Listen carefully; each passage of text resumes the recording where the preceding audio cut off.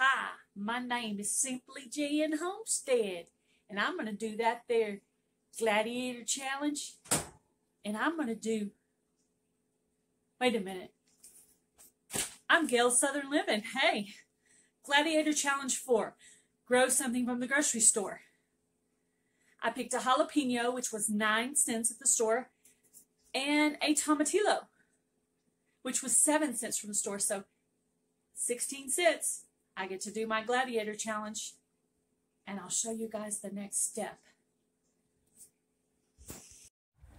All right, guys, the next step is to cut the tomatillo and the jalapeno.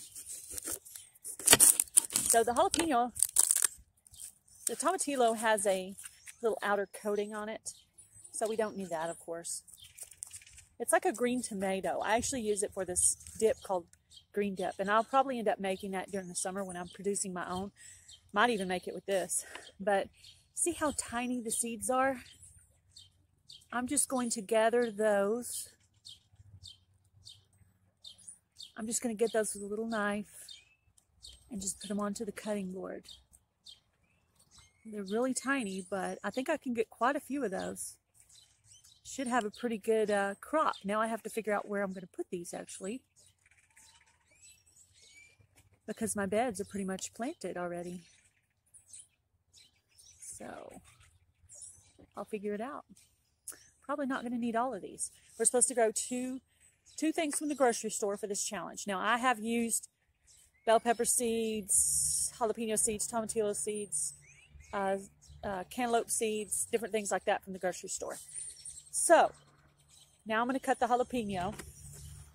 I really should have worn gloves for this. I never learned my lesson every time I cut the jalapeno without gloves. Most important thing when cutting your jalapeno, do not rub your eyes or pick your nose. ha ha ha. So, um, because it would be very painful.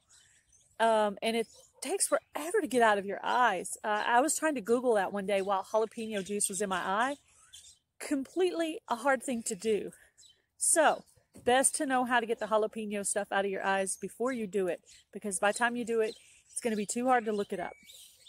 All right, see how many seeds are inside? Let me cut on this some more do some more cutting. I like this challenge because um, I've actually done this before with planting seeds from the store. Now, I two years ago, I saved my cantaloupe seed, and last year I grew from the seed that I had harvested from the ones I'd got from the grocery store the year before. So, look how many seeds that has in it. It's a ton.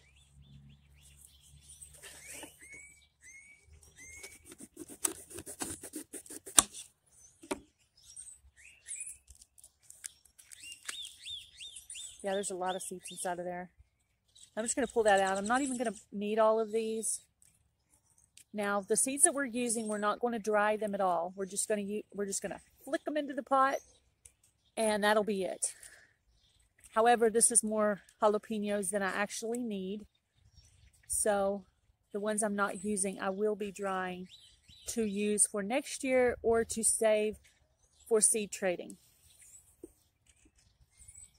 So there's quite a bit of jalapeno seeds in here. So we're supposed to grow two of each plant and then we're going to weigh it.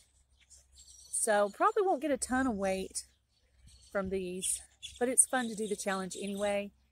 And if I could get a jalapeno this big, that would be a pretty good size jalapeno. Tomatillos pretty much are always this small size, but if you got enough of them, you know, if you got enough of these, it could add up to some weight. But these are just the things that I still wanted and needed to plant. So that's why I chose these two particular items. I will bring you back when I figure out where I'm going to put these.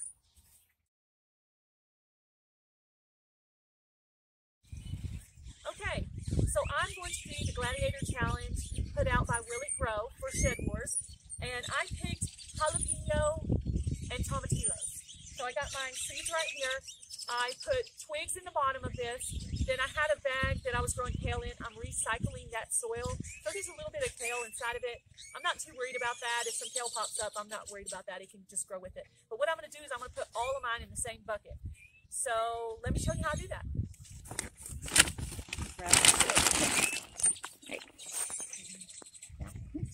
Okay, so I recycled some soil. I have twigs in the bottom. That's good for drainage. This is a cow manure compost. Okay, I'm going to add some bone meal to it. I'm not going to measure it. I'm just going to put some of that in there. Now I know I'm probably going to have to go to Walmart and grab some more soil. I'm going to go ahead and add some fertilizer in since I have it already. I'm just going to mix all this together. You can see the kale in there from the kale and some roots. So I'm basically recycling my soil here. Okay, I'm going to put some more of this in here.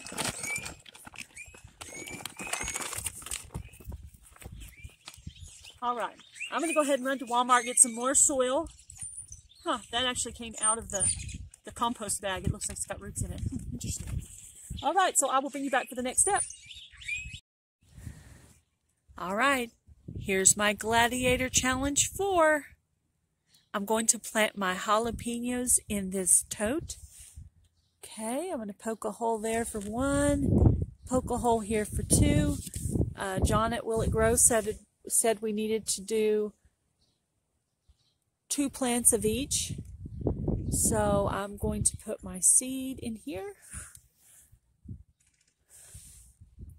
Okay. And there you go. I'm just going to cover it up. All right. I'm going to put that one to the side. And I'm going to put my tomatillo in here.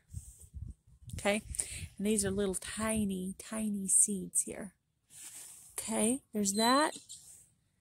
And there.